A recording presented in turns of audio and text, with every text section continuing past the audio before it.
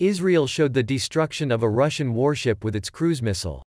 Against the background of new tensions in relations between Russia and Israel over the situation in Syria, the Israeli company, Rafael, specializing in the development of various types of weapons, published a video showing the destruction of a Russian warship, which is part of the Black Sea Fleet of the Russian Navy.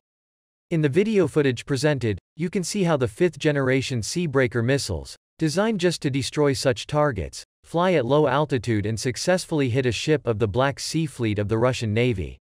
According to analysts, we are talking about the R-71, Shuya, missile boat, although the Israeli military decided to play it safe and removed the side number of the Russian warship from the video. According to experts, such actions on the part of Israel will certainly lead to a response from Russia, especially since this is not the first time that an Israeli military company has used Russian weapons as its targets. So far, no official comments have been made by the Israeli company Rafael.